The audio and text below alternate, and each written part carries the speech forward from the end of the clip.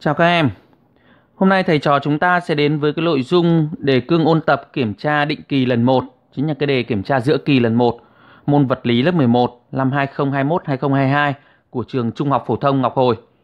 Thế thì như các em đã biết là gì, trong giai đoạn vừa qua thì chúng ta đã phải nghỉ dịch cũng như học online khá là dài. Do đó cái hiệu quả tiếp thu kiến thức của các em thì đương nhiên là sẽ giảm sút rất là nhiều so với những cái năm trước nếu không phải nghỉ dịch. Đấy. Thế thì đợt này các em sẽ phải kiểm tra giữa kỳ cũng giống như cái thông lệ của mọi năm. Tuy nhiên là do cái lượng kiến thức tiếp thu và cái hiệu quả của các em là không được tốt. Do đó là gì ờ, cái bài kiểm tra sắp tới cũng khá là quan ngại. Vì vậy thầy mong rằng là qua những cái nội dung video bài giảng cũng như là việc ờ, các video thầy chữa đề cương, chữa đề thi năm trước để sẽ giúp một phần nào cho các em ôn tập để làm tốt được cái bài thi sắp tới. Thế đầu tiên thì các em phải nắm được rằng mình sẽ phải thi những cái nội dung gì ở đối với cái chương trình của trường Ngọc Hồi, thì chủ yếu các em sẽ thi ở cái nội dung của chương 1. Chủ yếu các em thi nội dung chương 1. Bởi vì sang chương 2 là chính là dòng điện không đổi, thì ở đây trong đề cương nhà trường đưa ra thì chỉ có lý thuyết của chương 1 gồm toàn bộ tất cả 12 vấn đề lý thuyết và các dạng bài tập của chương 1. Thế thì đối với các cái vấn đề lý thuyết và các dạng bài tập này, thì các bạn có thể xem lại các video mà thầy đã hướng dẫn. Xem lại các video mà thầy đã hướng dẫn. Được chưa? Thì từ đó các bạn có thể ờ, nhớ lại được các kiến thức cơ bản cũng như các cái dạng bài tập cần thiết để mình ôn tập. Bây giờ thầy sẽ đi vào cái nội dung bài tập trong cái đề cương này. Ta đến với phần A là các bài tập trắc nghiệm. Vì đề thi của Ngọc Hồi là có cả trắc nghiệm, cả tự luận, nên các em hết sức lưu ý nhé. Đề thi Ngọc Hồi là có cả trắc nghiệm, tự luận. Ta đến với câu 1. Hai điện tích điểm bằng nhau đặt trong chân không cách nhau 4 cm. Lực đẩy F1 nếu là F2 thì khoảng cách là bao nhiêu? Đúng chưa? Thì thực tế ra đây chính là lập cái tỷ số thôi, đúng không? F1 trên F2 bằng, các bạn nhớ rằng F1 thì bằng KQ1 Q2 trên R1 bình. Được chưa? Thế thì khi ta lập tỷ số này thì sẽ là R2 bình trên R1 bình. Và bằng 9 x 10 mũ trừ 5 đúng không? Còn đây là 16 nhân 10 mũ trừ 5 9 phần 16 Đấy, thay đổi 1,6 10 mũ trừ 4 thành 16 nhân 10 mũ trừ 5 Thế thì căn hai vế ra được 3 phần 4 Mà R1 của mình là bằng 4 Thế thì suy ra e R2 phải bằng bằng 3 tỷ số đúng không? Đáp án C. Câu 2. Hai điện tích dương cùng độ lớn được đặt tại hai điểm AB. Đặt một chất điểm tích điện Q0 tại trung điểm AB thì ta thấy Q0 đứng yên. Có thể kết luận gì? Như vậy, hai điện tích dương này. Mà đặt một điện tích quy không ở đây. Thế nếu quy không mà âm, quy không mà âm nhá. Thế thì nó sẽ hút về bên trái, hút bên phải, cũng cân bằng. Mà quy không dương thì lại thằng này đẩy sang phải, thằng này đẩy sang trái, cũng cân bằng, đúng không? Như vậy quy không là điện tích có thể có dấu bất kỳ. Ta có đáp án C. Được chưa? Đấy. câu 1.3 nếu tăng khoảng cách giữa hai điện tích điểm lên 3 lần, thì lực tương tác sẽ giảm đi 9 lần, vì ta có R bình. Như đáp án là C. Câu 1.4 Hai quả cầu nhỏ có điện tích Q1 Q2 cách R thì đẩy nhau với lực F0. Sau khi tiếp xúc, đặt lại ở khoảng cách R, chúng sẽ vẫn phải là đẩy nhau. Được chưa? Có điện tích Q1 Q2 ở khoảng cách R đẩy nhau thì có phải ban đầu là nó sẽ cùng dấu đúng không? Được chưa? Thế thì sau khi tiếp xúc thì điện tích của nó vẫn cùng dấu và nó sẽ vẫn phải là đẩy nhau. Vấn đề lực đẩy sẽ như nào? Ta có F bằng K Q1 cộng Q2 tất cả bình trên 2 tất cả bình thì thầy sẽ ghi là trên 4 R bình. Đấy. Còn cái F0 ban đầu của mình chỉ là gì? K Q1 Q2 trên R bình mà thôi. Đấy. Thế thì bây giờ em phải đi so sánh cái Q1 cộng Q2 tất cả bình trên 4 với Q1 Q2. Được chưa? Đấy, phải so sánh cái này. Thì nếu cái nào lớn hơn, thì cái lực ép đấy sẽ lớn hơn. Thế ta có là gì? Q1 cộng Q2 tất cả bình trên 4 thì nếu khai triển đẳng thức ra sẽ là Q1 bình cộng Q2 bình cộng 2 Q1 Q2 đúng không? Hoặc các em có thể dùng cosi. Ta có Q1 cộng Q2 thì lớn bằng 2 căn Q1 Q2, bình phương lên là lớn, lớn bằng 4 lần Q1 Q2 thì 4 với 4 triệt tiêu đúng không? Đúng chưa? Đấy. Thế thì cái Q1 cộng Q2 tất cả bình trên 4 này luôn luôn lớn bằng Q1 Q2. Thế thì F của mình sẽ là lớn hơn F0. Đẩy nhau và F thì lớn hơn F0. Tiếp tục ta đến với câu 1.5.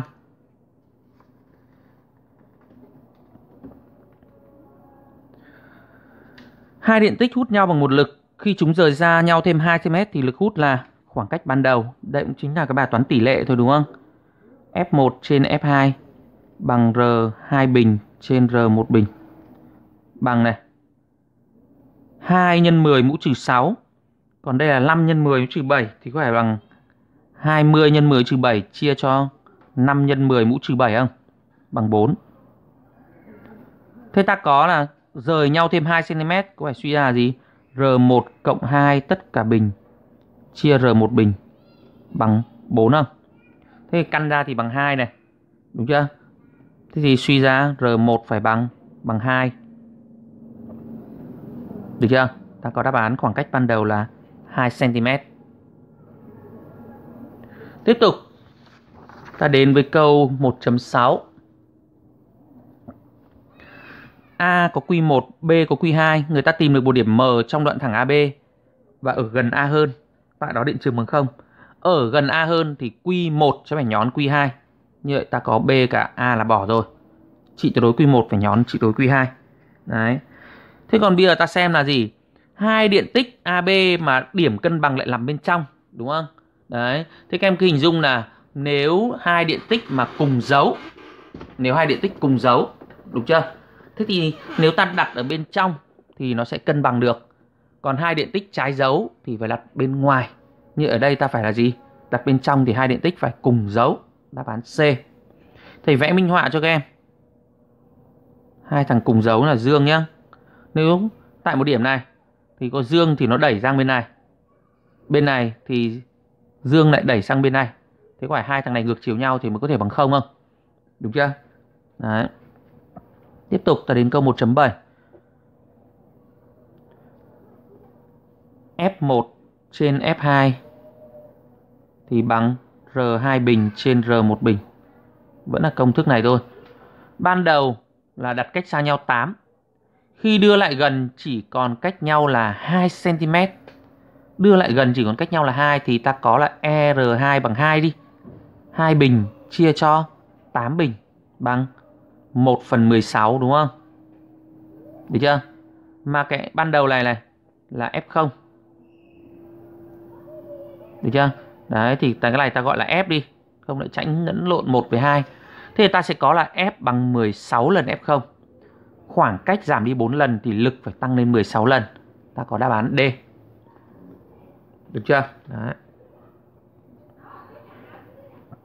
Tiếp tục. Ta đến với câu 1.8. Nếu truyền cho một quả cầu trung hòa điện 10 mũ 5 electron thì quả cầu sẽ mang một điện tích là Q bằng N nhân E. Như vậy ta sẽ có là 1,6 nhân 10 mũ trừ 19 với 5 thì còn trừ 14. Đúng chưa? Âm 1,6 10 trừ 14 coulomb. Đáp án C. Câu 1.9 Hai quả cầu kim loại cùng kích thước ban đầu hút nhau. Ban đầu hút nhau là trái dấu. Sau khi cho chúng chạm nhau, ta thấy chúng lại đẩy nhau. Có thể kết luận rằng cả hai quả cầu đều chắc chắn phải là trái dấu. Đúng chưa? Chắc chắn phải là trái dấu và có độ lớn khác nhau. Đúng chưa? Thì có độ lớn khác nhau thì sau này chúng nó mới đẩy nhau được, đúng không? Như vậy ta có đáp án D, trái dấu và có độ lớn không bằng nhau. Tiếp tục ta đến câu 10.10. Môi trường nào sau đây không chứa điện tích tự do? Không chứa điện tích tự do chính là nước cất. Nước cất của mình là không dẫn điện. Câu 11. Nhiễm điện cho một thanh nhựa rồi đưa nó lại gần hai vật M và N. Ta thấy thanh nhựa hút cả hai vật.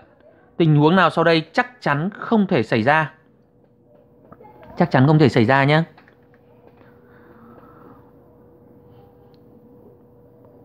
M và N nhiễm điện cùng dấu. M và N nhiễm điện cùng dấu. Ở đây ta thấy thanh nhựa hút cả hai vật MN thì một là MN không được mang điện, thì vật mang điện sẽ hút, vật không mang điện. Hai là MN phải mang điện trái dấu với thanh nhựa. MN cùng trái dấu thanh nhựa thì MN phải là cùng dấu. Đúng không? MN phải là cùng dấu. Chứ nếu MN nhiễm điện trái dấu thì giả sử thanh nhựa hút M thì nó phải đẩy N, chứ không thể hút cả N được nữa. Như vậy không thể xảy ra chỉ có thể trường hợp MN nhiễm điện trái dậu, Đúng không? Được chưa? Như vậy ta có đáp án B. Câu 1.12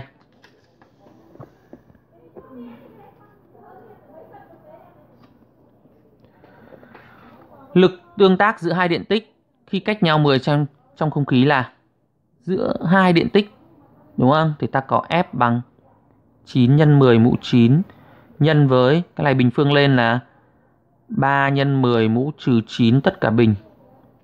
Chia cho R bình là 0,1 bình. Bằng. Đây là 9 nhân 10 mũ trừ 18 9 với 9 là 81 chắc chắn phải có số 81 rồi. Như vậy 1,8 và 2,7 sai. 10 mũ trừ 18 với 9 thì còn là 10 mũ trừ 9 đúng không?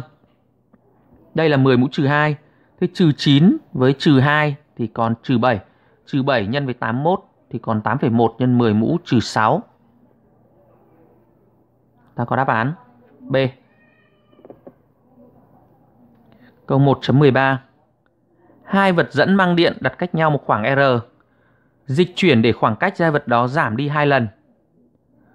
Khoảng cách giảm hai lần thì lực phải tăng lên 4 lần vì nó tỷ lệ nghịch với R bình. Vậy ta có đáp án C. Câu 14.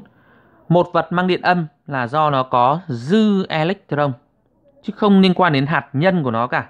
Được chưa? Đấy, vậy ta có đáp án A. Tiếp tục, ta đến với nội dung của câu số 15. Ta đến với nội dung câu số 15.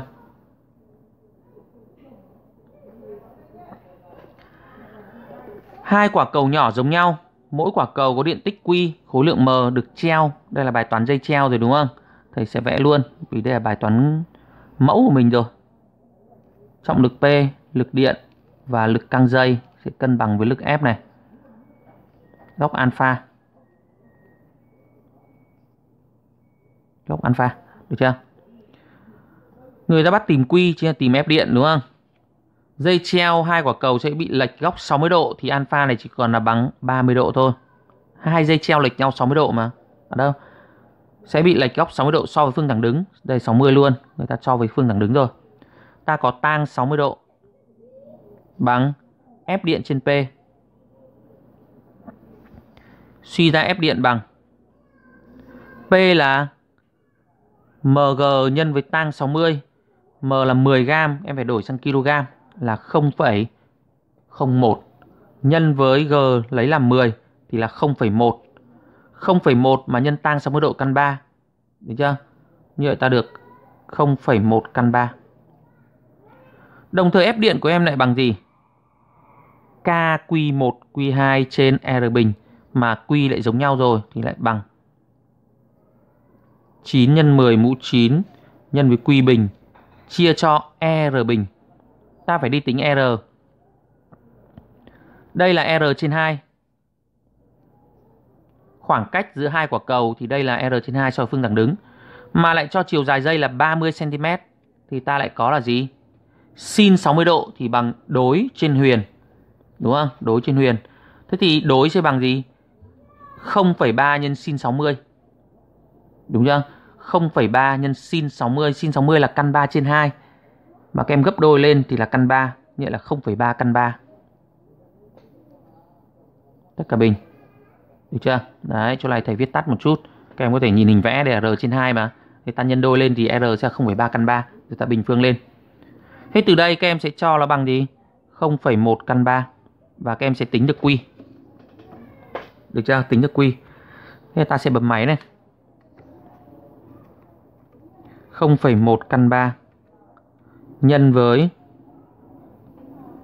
0,3 căn 3 bình chia cho 9 nhân 10 mũ 9 bằng em căn nó ra 2,28 nhân 10 mũ trừ trừ 6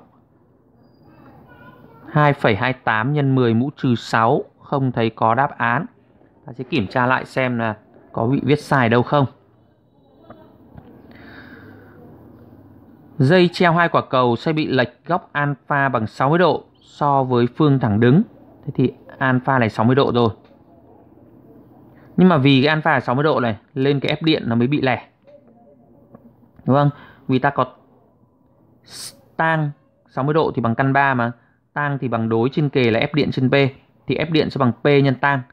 P bằng mg 0,01 nhân 10 là 0,1. 0,1 nhân căn 3. Đấy, nó bị lẻ cái chỗ này. Tiếp tục là ta sẽ phải đi tính F điện bằng K q bình trên R bình. Thế ta sẽ kiểm tra cái K cả cái q bình thì không đổi rồi. Ta kiểm tra lại cái số 0,3 căn 3 là cái R. Ta có R trên 2 thì bằng gì? Sin alpha thì bằng đối trên huyền.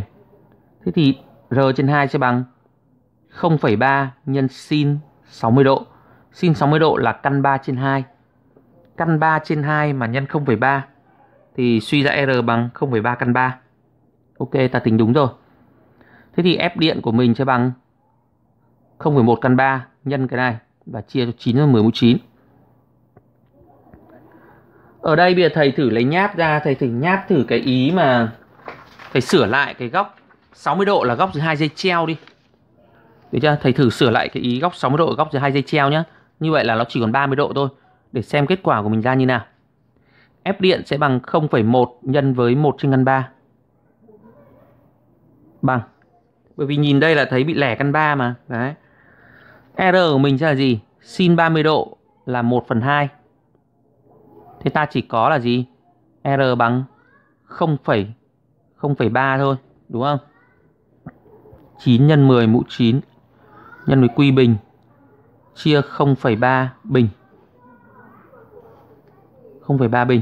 Ta bấm thử xem ra như nào nhé. Phân số này. 0,1 nhân 0,3 bình chia cho 9 nhân 10 mũ 9 nhân căn 3 bằng. Căn của answer bằng. 7,6 nhân 10 trừ 7 0,76 cũng vậy đề đều lẻ cả. Được chưa? Như vậy thì cái đáp án ở đây là bị sai rồi. Đúng không? Đáp án ở đây bị sai. Thầy bấm lại cái đáp án này nhé 0,1 căn 3 nhân với 0,3 nhân căn 3 bình chia cho 9 nhân 10 mũ 9. Đúng chưa? Đấy. Bằng ta căn answer ra. Ta được 2,28 nhân 10 mũ trừ 6. Như vậy, quy của mình sẽ bằng là gì? 2,28 nhân 10 mũ trừ 6 và ta có cộng trừ được chưa? Như vậy con này đang là sai. Tiếp tục ta đến với câu 1.16 bởi vì đề cương thì cũng có thể là có cái câu bị gõ sai hoặc là dữ liệu đưa vào bị gõ sai. Câu 16 này. Độ lớn của lực tương tác tính điện Coulomb giữa hai điện tích điểm đặt trong không khí F bằng K Q1 Q2 trị tuyệt đối trên R bình tỷ lệ thuận với bình phương độ lớn hai điện tích sai rồi không phải bình phương Tỷ lệ thuận khoảng cách sai rồi. Tỷ lệ nghịch với khoảng cách, tỷ lệ nghịch với bình phương khoảng cách giữa chúng, đây mới là đúng này. Tỷ lệ nghịch với bình phương khoảng cách. Đúng chưa? Câu 17.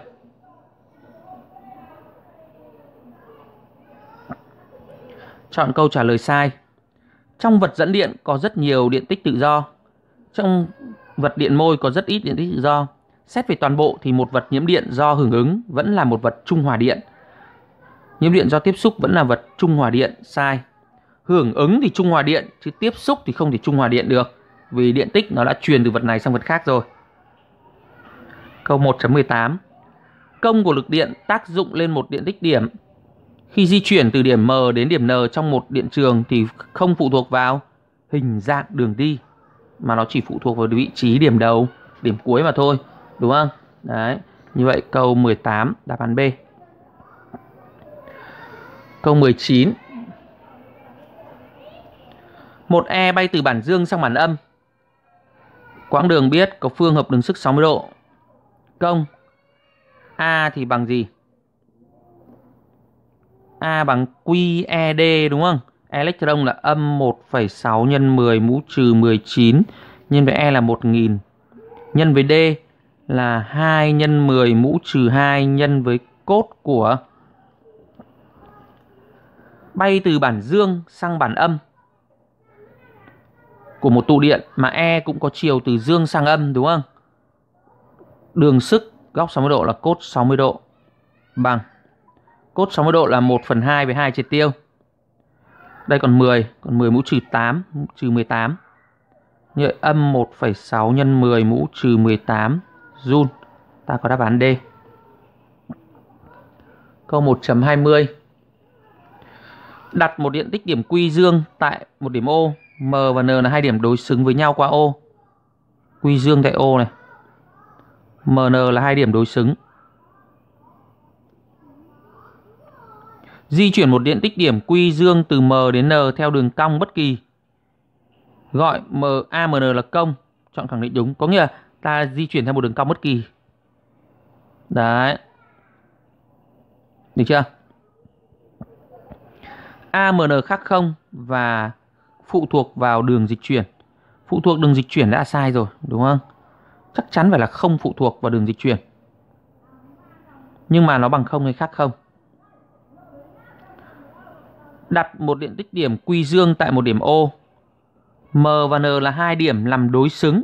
Bây giờ người ta di chuyển một điện tích điểm quy dương từ M đến đến N theo đường cong bất kỳ. Đấy, từ M đến N nhá. Vậy xung quanh điện tích điểm quy dương này thì nó sẽ có điện trường không? Đúng chưa? Đấy. Thế thì điện trường giả sử như E tại N thì hướng ra xa O, E tại M hướng ra xa O này. Như vậy là nó hướng về hai phía. Ta có công thức là A bằng QED. Q này đã biết rồi. Q này đã biết rồi, đúng không? E này có thể tính được. D là khoảng cách ta đã có rồi. Thế thì chắc chắn là em sẽ xác định được AMN chứ không bảo là không thể xác định được AMN. Vấn đề nó bằng không hay khác không? Vấn đề nó bằng không hay khác không mà thôi. Các em lưu ý rằng là từ M đi về O là đi ngược chiều E. Đúng không? Nhưng từ O đi về N lại đi cùng chiều E.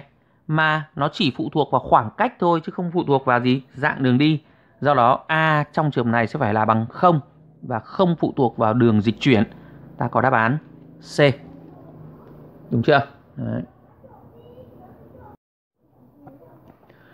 Tiếp tục này, ta đến với câu 21.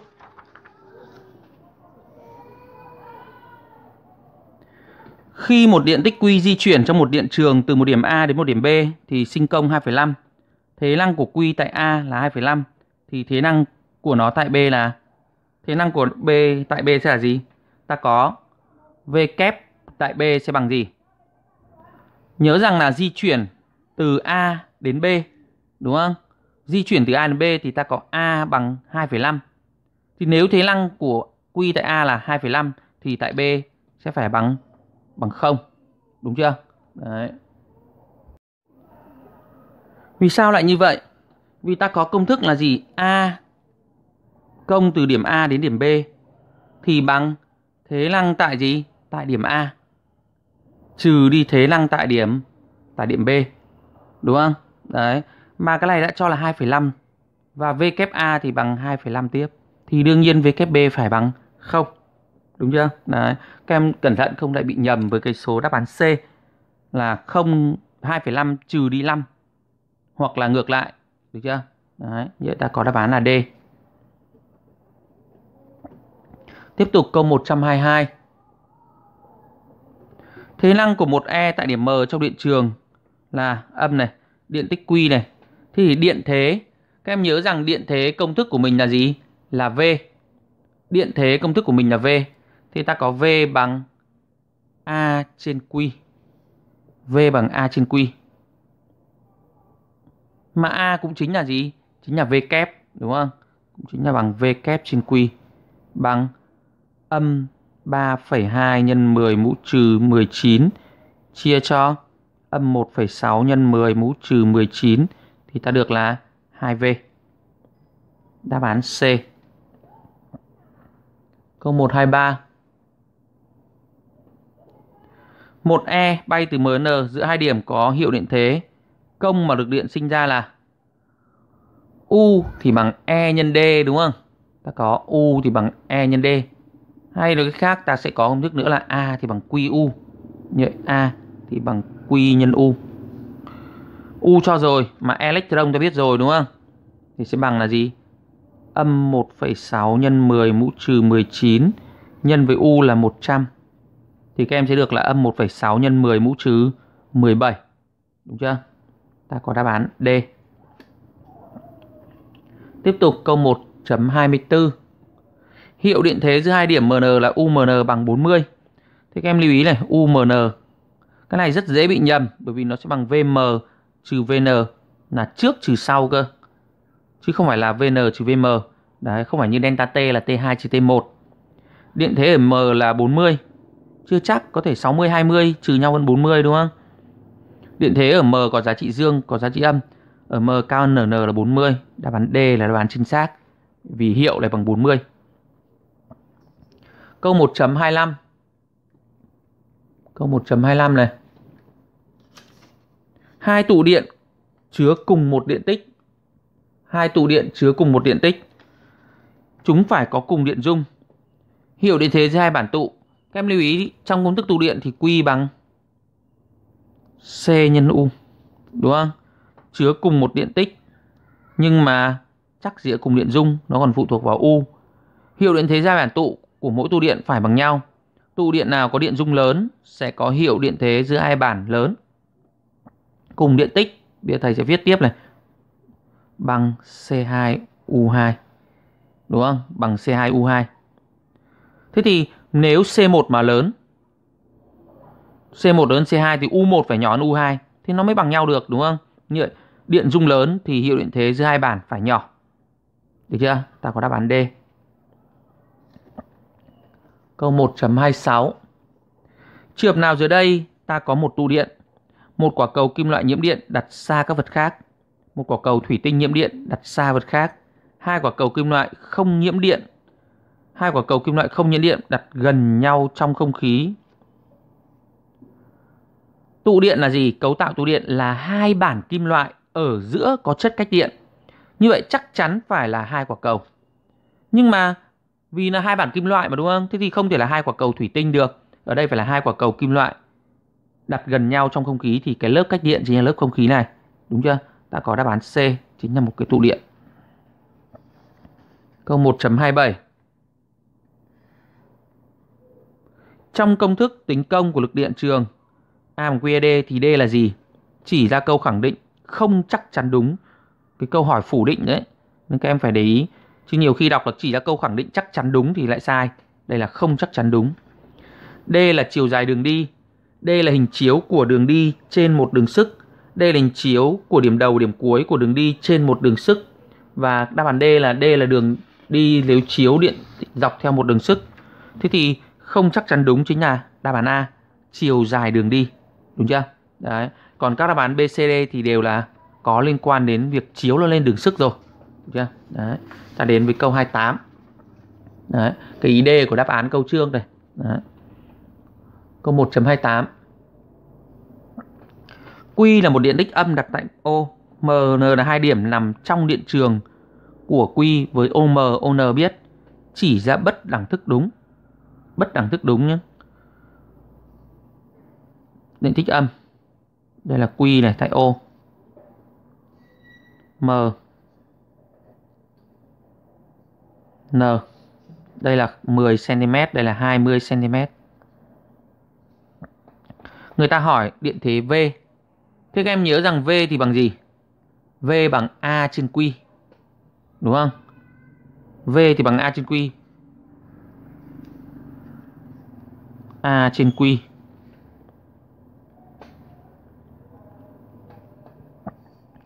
ta có là gì? A bằng QED đúng không? A bằng QED thì V sẽ bằng E nhân với D. Được chưa? D là khoảng cách. Chính là quãng đường mà nó đi được. Bởi ta tăng tính công mà. Thế thì ta sẽ đi xem E của thằng nào lớn hơn. E thì bằng gì? E bằng KQ trên R bình. Như vậy, khoảng cách càng nhỏ thì E càng lớn. Khoảng cách càng nhỏ thì E càng lớn. Được chưa? Như vậy là E tại M sẽ lớn hơn E tại N. E tại M lớn hơn E tại L. Vì M gần gần Q hơn và nó đang là gì? Hướng vào. Đúng chưa? Đấy. Thế thì đang là hướng vào bây giờ các em xem là V âm hay V dương. Bởi vì ta có hai đáp án là tất cả V đều âm và hai đáp án tất cả V đều dương. Đúng chưa? Đấy. Thế thì ta sẽ có công thức tính gì? Tính E bằng gì? Cái này là trị tuyệt đối, lên E này của mình là luôn dương rồi. Đúng chưa? Đấy, E thì luôn dương. Như vậy các em nhớ rằng là gì? Điện thế thì sẽ đi từ nơi cao về nơi thấp đúng không? Ở đây điện tích âm thì E là hướng lại gần hướng lại gần O này. Do đó là gì? Theo chiều đường sức là từ N đến M thì chắc chắn là VM phải nhỏ hơn VN. Được chưa? E cường độ điện trường độ lớn thì lớn hơn nhưng mà vì là âm nên nó sẽ phải ngược lại đó là VM thì nhỏ hơn VN. Nhưng bây giờ nó là lớn hơn không thì nhỏ hơn không. Thì vì điện tích âm là hướng lại gần lên cái điện thế ở đây cũng phải là nhỏ hơn không. Vậy thì ta có đáp án là A, VM nhỏ hơn VN và nhỏ hơn không. Tiếp tục ta đến với câu 1.29. Di chuyển một điện tích Q lớn không từ điểm M đến điểm N trong một điện trường. Công của lực điện càng lớn nếu Đấy, công của lực điện càng lớn nếu gì? Đường đi MN càng dài, đường đi MN càng ngắn. Cái đường đi MN này nó còn phải xem là đi theo hướng nào. Đi cùng chiều đường sức hay đi vuông góc. Đi vuông góc đường sức thì có dài nữa thì cũng chẳng có tác dụng gì. Đúng không? Đấy. Bây giờ hiệu điện thế càng lớn và càng nhỏ ta có A thì bằng gì? Q nhân với UMN. Q là không đổi rồi thì UMN càng lớn thì cái công này càng lớn. Như vậy ta có đáp án là C. Câu 1.30 Hai vật nhỏ điện tích đặt cách nhau 50 hút nhau bằng một lực điện tích tổng cộng là thì cái dạng bài này là dạng giải hệ rồi 0,18 bằng 9 x 10 mũ 9 nhân với trị tuyệt đối Q1 Q2 chia cho 0,5 bình. Đấy. Mặt khác ta có Q1 cộng Q2 bằng 4 nhân 10 mũ trừ 6. Ta phải giải cái hệ này. 4 nhân 10 trừ 6 ta kiểm tra xem này. Thứ nhất là hút. Hút thì phải trái dấu. Hút thì phải trái dấu đã. Đúng không? Đáp án B, D bỏ luôn. Cùng dấu dương thì đẩy nhau. Thế tổng của nó bằng 4 đúng không? Trừ 1 năm với trừ 26 đều tổng 4 rồi. Như vậy cái ý này sẽ không dùng đến nữa. Bây giờ ta chỉ cần kiểm tra cái ý này thôi này. Từ đây thầy suy ra được Q1 nhân Q2 bằng cái gì? Ta lấy 0,18 nhân với 0,5 bình chia cho 9 nhân 10 mũ 9 bằng 5 nhân 10 mũ trừ 2 đúng không? 10 mũ trừ 12. Thế ta chỉ cần biết 5 thì phải 1 nhân 5 chứ không thể là 2 nhân 6 được. Thế thì chỉ còn đáp án là A thôi. Đúng chưa? Đấy, thì phần trắc nghiệm có 30 câu. Được chưa?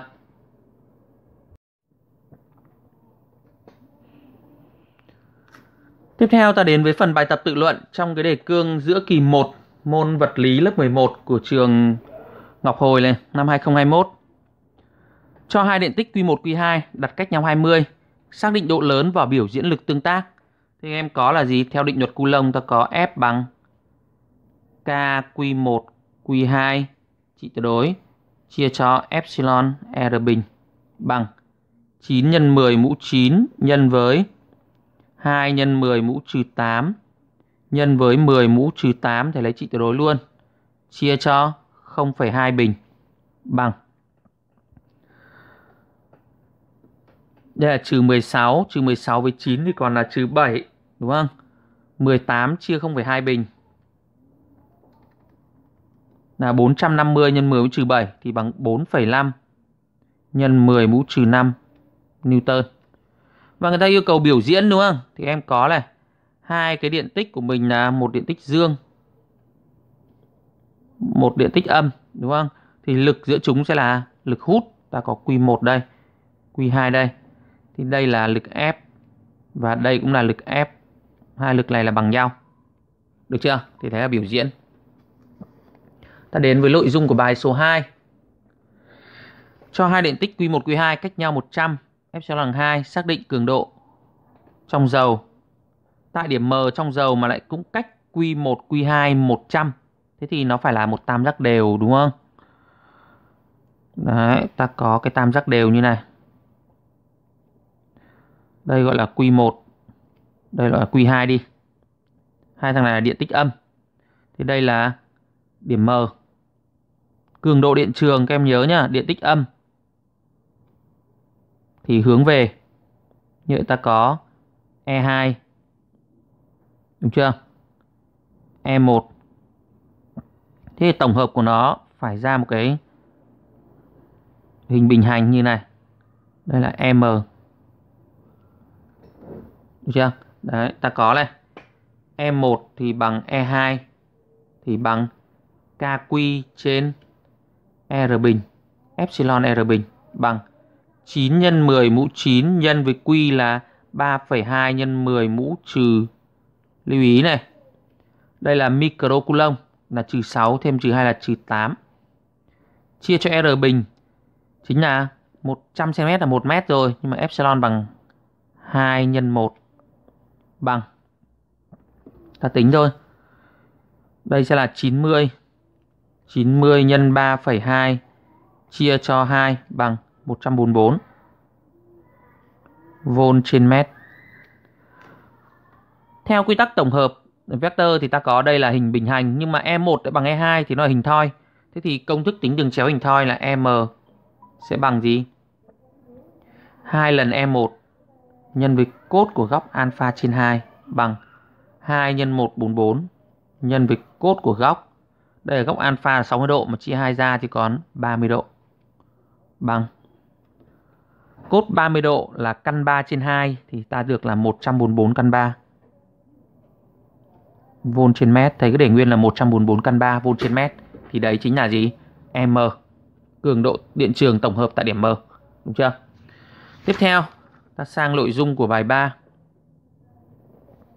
Ta sang nội dung bài 3. Hai quả cầu nhỏ có khối lượng được treo bằng sợi dây nhẹ. Khi hai quả cầu nhiễm điện giống nhau, chúng đẩy nhau và cách nhau 6.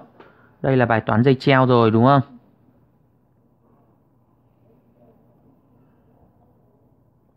Chịu tác dụng của trọng lực P. Lực đẩy làm ngang. F điện. P. F. Cân bằng với lực căng dây T. Góc alpha đây góc alpha. Ta có P thì bằng MG 0,6 nhân 10 mũ trừ 3 nhân 10 thì bằng 0,6 nhân 10 mũ trừ 2 Newton. Khi hai quả cầu nhiễm điện giống nhau chúng đẩy nhau và cách nhau 6 cm. Hai quả cầu cách nhau 6 cm thì đây là 3 cm. Mà dây lại là 50 cm đúng không? Thế ta có góc alpha là gì? Cốt alpha bằng đối trên kề bằng 3 phần 50. Người ta yêu cầu tính điện tích của mỗi quả cầu. Tính điện tích của mỗi quả cầu nhé. Thì ta có công thức tang alpha bằng F điện trên P. Suy ra F điện bằng P nhân tan alpha đúng không? 0,6 nhân 10 mũ trừ 2 nhân. Thế từ cốt này ta sẽ suy được tan alpha này. Được chưa?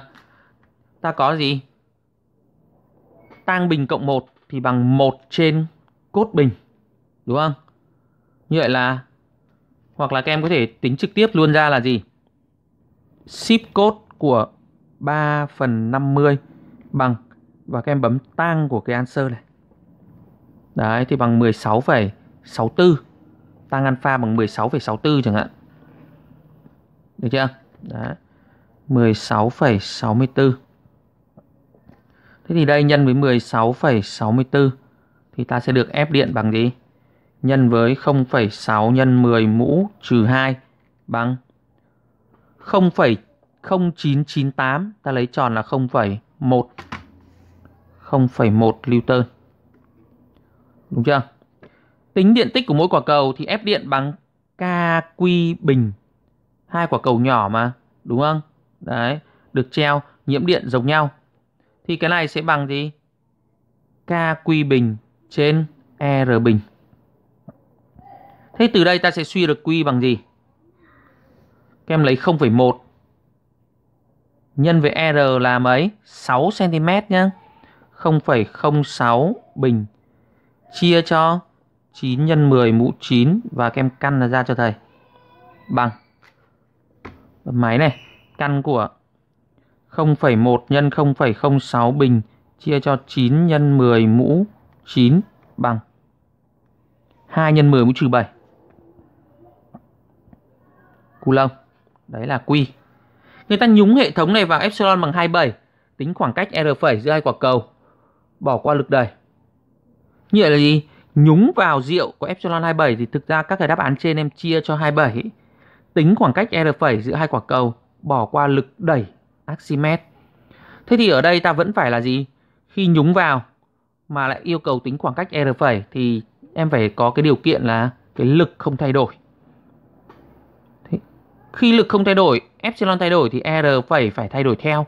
Chứ nếu mà lại lực thay đổi thì ta biết R phẩy như thế nào mà tính, đúng không? Đấy. Như vậy cái công thức này thì các em chỉ cần tính gì? Sau khi có cái epsilon bằng 27 rồi đúng không? Epsilon đấy nó không ảnh hưởng đến P, không ảnh hưởng đến alpha mà chỉ ảnh hưởng đến chỗ f điện này là cho epsilon vào đây. Thế thì cái lực của em sẽ là lấy lấy cái kết quả lực 0,1 này chia tiếp cho 27. à, nhân lên 27 và các em đi tìm được r phẩy mới q không đổi rồi đúng không? Thì cái ý này các em tự tính cho thầy. Được chưa? Đấy. Đây thầy có thể viết biểu thức cho em ý đấy thôi. Các em tự thay số nhé ta có là gì? K nhân với q bình chia cho epsilon r phẩy bình thì vẫn phải bằng 0,1 Q là lấy 2 nhân 10 trừ 7 K biết rồi epsilon là 27 thì các em tính được R phẩy. Tiếp tục, ta đến với nội dung của bài số 4. Một E được thả không vận tốc ban đầu sát bản âm, trong điện trường đều giữa hai bản kim loại phẳng, tích điện trái dấu. Cường độ điện trường giữa hai bản là, khoảng cách giữa hai bản là tính động năng của E khi chúng đập vào bản dương. Ta có định lý biến thiên động năng VKD2 trừ VKD1 thì bằng công sinh ra. Mà A lại bằng gì? Bằng QED Đấy, D là khoảng cách giữa hai bản tụ. Thế thì được thả không vận tốc ban đầu có nghĩa VKD 1 bằng 0. Ta có MV2 bình trên 2 trừ 0 bằng Q là electron đúng không? E nhân với E nhân với D. Người ta yêu cầu tính động năng của E khi nó đập vào bản dương chính là tính cái động năng này luôn thôi. Thì suy ra vkd2. Nếu bắt tính V thì ta mới dùng công thức này, còn không thì cứ để vkd2 bằng âm 1,6 nhân 10 mũ trừ 19 nhân với E là 1000 nhân với D là 0,01 đúng chưa? Bằng. Đây còn 10 còn 10 mũ trừ 1,6 âm 1,6 nhân 10 mũ trừ 18 Joule. Đấy. Đây là nội dung của bài số 4 còn nếu người ta yêu cầu tính vận tốc thì các em phải áp dụng công thức này vào để tính ra vận tốc của electron ở sát với bản dương.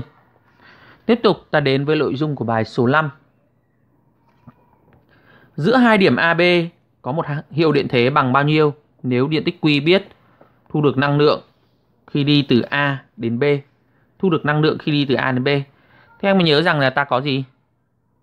U bằng gì? Các em lưu ý V thì bằng V kép trên Q đúng không? V thì bằng V kép trên Q.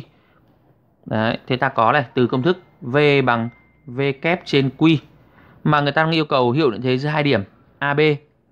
Thì đây là năng lượng đi từ A đến B thì ta suy được UAB thì bằng V kép AB trên Q bằng 2 nhân 10 mũ trừ 4 chia cho Q là 10 mũ trừ 6 thì ta được là 200V. Đấy là hiệu điện thế giữa hai điểm AB. Được chưa? Đấy. Tiếp tục ta đến với nội dung của bài số 6.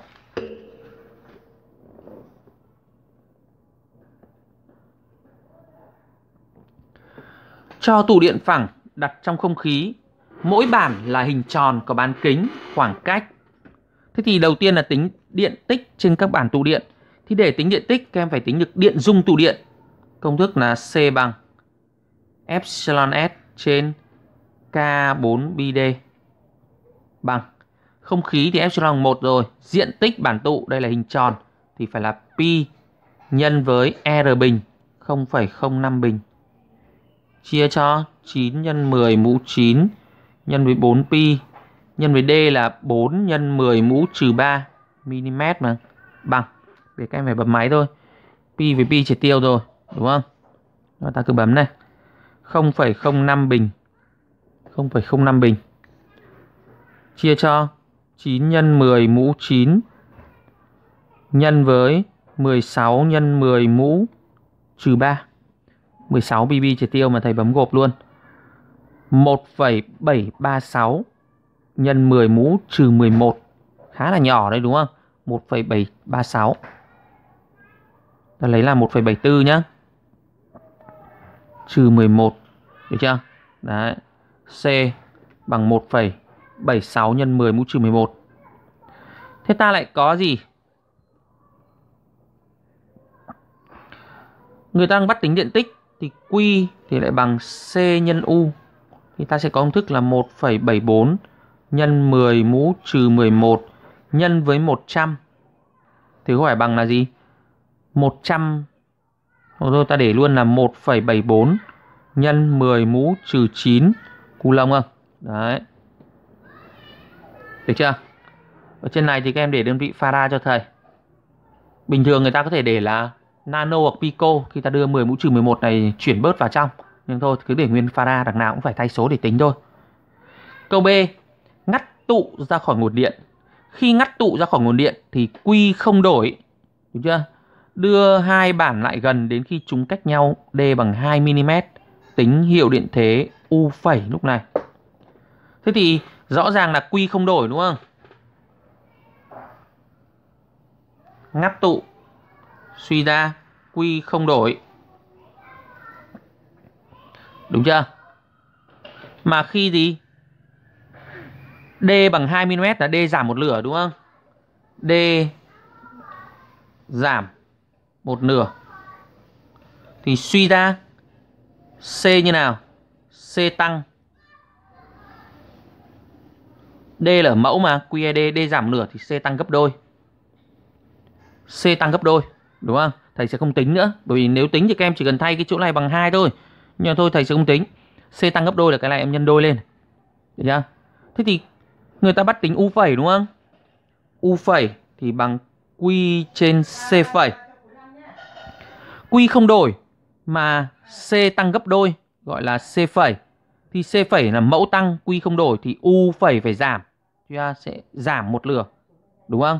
U phẩy giảm một nửa mà ban đầu đang 100 thì nó chỉ còn là gì? 100 chia 2 bằng 50V mà thôi. Đúng chưa? Đấy là nội dung của bài số 6. Còn đâu các em vẫn có thể tính thay số 20 vào để tính. Tiếp tục ta đến với nội dung của bài số 7. Ta đến với nội dung của bài số 7. Đây là một cái bài mà người ta mắc một cái mạch điện có hệ các tụ điện mắc nối tiếp song song với nhau. Thế đầu tiên các em phải nhận xét được rằng gì? Cái hệ này như nào? C1 Đây, thầy viết ở đây C1 nối tiếp với C2 nối tiếp C3 song song với C4 nối tiếp với C5. Đấy, đây là cái phân tích mạch điện của mình. Được chưa? Thế bây giờ người ta bắt tính điện dung của bộ tụ thì ta sẽ tính từng cái thành phần một. Ta có C23 thì sẽ là 1 trên C23 bằng 1 trên C2 cộng 1 trên C3 thì sẽ là tích trên tổng. C2 nhân C3 chia C2 cộng C3 bằng 12 nhân 4 chia cho 12 cộng 4 bằng 12 nhân 4 là 48, 48 chia 16 thì bằng 3. Ta có C45 cũng bằng C4 nhân C5 chia cho C4 cộng C5 bằng 3 nhân 6 chia cho 3 cộng 6 thì ta được là mấy? 18 chia 9 bằng 2. Tiếp tục ta sẽ đi tính C2345. C2345 thì mắc song song, đúng không? C2345 thì bằng C23 cộng C45 bằng 5 microfarad. Và cuối cùng là C1 mắc nối tiếp cụm này thì C bộ sẽ bằng C1 nhân C2345 chia cho C1 cộng C2345 bằng 5 nhân 5 chia cho 5 cộng 5 bằng gì? 25 chia 10 là 2,5 microfarad. Đấy là ý thứ nhất, tính điện dung bổ tụ. Ý thứ hai là tính điện tích và hiệu điện thế trên mỗi tụ, đúng không? Thì ta có quy bộ bằng gì? Quy bộ bằng C nhân U bộ. C bộ nhân U bằng 2,5 nhân 10 mũ trừ 6 nhân với 100 thì bằng 2,5 nhân 10 mũ trừ 4 coulomb. Được chưa? Đấy là quy bộ. Thế thì đối với mạch có tụ điện mắc nối tiếp thì quy bộ thì sẽ bằng gì? Q1 bằng Q234. Đúng chưa? Thì ta có Q1 bằng quy bộ cũng bằng 2,5 nhân 10 mũ trừ 4. Người ta bắt tính điện tích và hiệu điện thế trên mỗi tụ mà.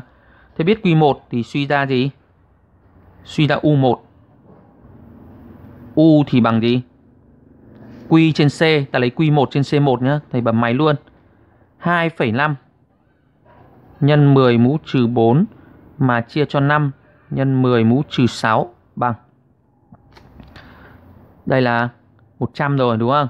100 chia 5 là 20. Lấy 2,5 nhân 20 thì ta được là 50V. Thế U1 bằng 50V rồi. Cái bài này nó không khó nhưng mà nó rất là dài vì tính về từng đoạn từng đoạn một. U1 50V thì suy ra U2 U23 bằng U45 bằng U1 bằng 50V. Đấy. U23 bằng U45 bằng U1 bằng 50V. Thế biết U23 thì các em sẽ suy được Q23 và Q45 đúng không? Suy ra Q23 bằng và Q45 bằng. Ta tính luôn. Q23 thì bằng U23 nhân C23. Lấy 50 nhân với 3. Đúng không? Là 150. 150 nhân thì sẽ bằng 1,5 nhân 10 mũ trừ trừ 4 coulomb.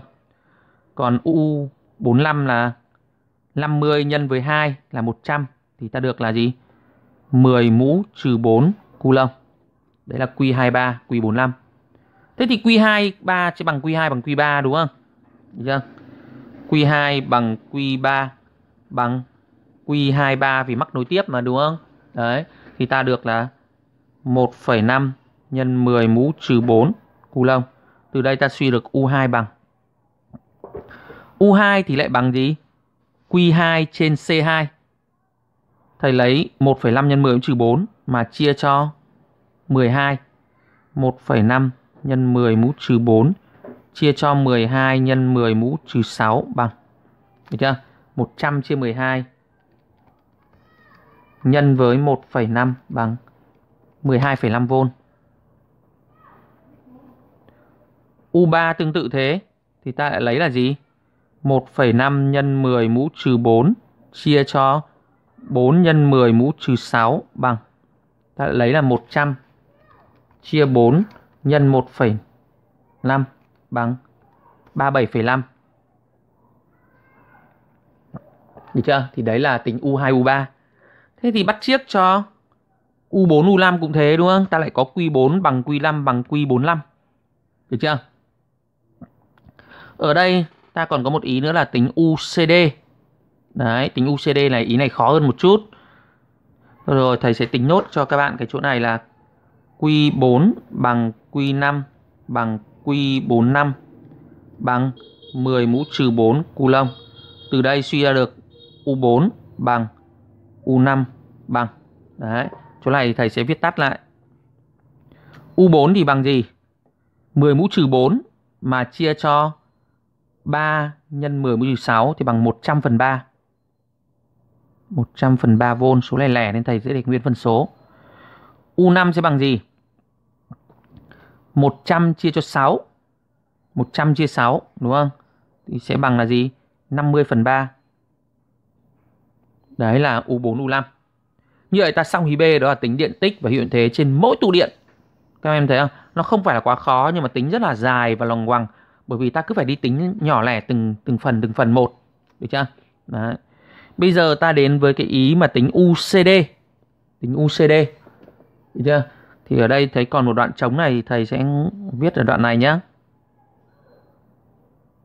Đây, ta có ý C. Tính UCD. Thầy sẽ viết bằng bút khác màu đi, bút màu xanh đi để cho phân biệt với cái đoạn bút màu đỏ mình vừa làm. UCD này. UCD thì bằng VC trừ VD. Đúng không?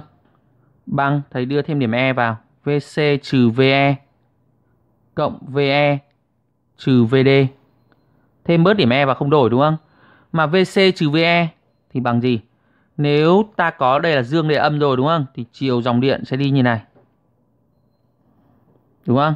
Đi từ dương sang âm. Thế thì ta có VC trừ VE đang là ngược chiều dòng điện thì nó sẽ bằng trừ UC2 chính là trừ U2 cộng với VE trừ VD đi cùng chiều thì bằng cộng với U4. Đúng không? Trừ U2 cộng U4. Đấy. Mà U2 ta vừa tính rồi. U2 là 12,5. Còn U4 là 100 phần 3. Đúng không? Thì ta có này. Bằng. U2 là 12,5 là trừ 12,5 cộng với 100 phần 3 bằng. Đấy. Câu này nếu biết tính thì rất là đơn giản thôi. Trừ 12,5 cộng với 100 phần 3 bằng 125 phần 6 125 phần 6 V. Như vậy ta có đáp án UCD bằng 125 phần 6 V. Được chưa? Thì đấy là cái cách tính UCD các em lưu ý cho thầy. Và cái bài 7 này nội dung nó khá là dài đúng không? Đấy, tính rất là nhiều. Bởi vì nó cho ở đây là nhiều cái giá trị C. Chứ nếu mạch đơn giản đi thi mà cho như này thì các em sẽ không đủ thời gian để làm bài thầy nói thật là như vậy. Bởi vì uh, các em không thể ngồi một phát và nhìn đề mà viết được thẳng không sửa câu nào như thầy được hoặc là tính toán nhanh như vậy được. Nhiều khi các em còn phải nghĩ xem tính như nào nhớ công thức lên đi thi nếu hợp lý ra ấy.